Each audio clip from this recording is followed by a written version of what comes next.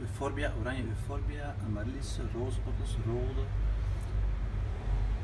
eh, fuchsia, lila, angers en verschillende rozen. Paarse, rode. Ranonkeltje zit er ook bij.